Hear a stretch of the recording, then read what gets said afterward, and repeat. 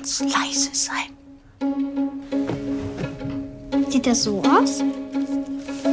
Es sind jetzt Tiere. Was denn für Tiere? Wo gehst du denn hin? Zu meiner Oma. Siehst du das? Ja. Und deine Mutter sagt, ich bin verrückt. Hör mir zu. Da kann nichts sein. Weil ich mich einmal vertan habe. Viermal, Mama. Und was machst du da?